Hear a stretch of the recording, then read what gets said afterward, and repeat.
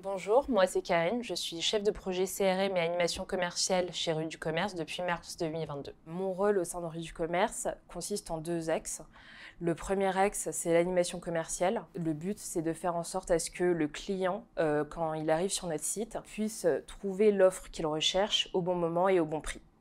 Le deuxième axe, c'est euh, le CRM.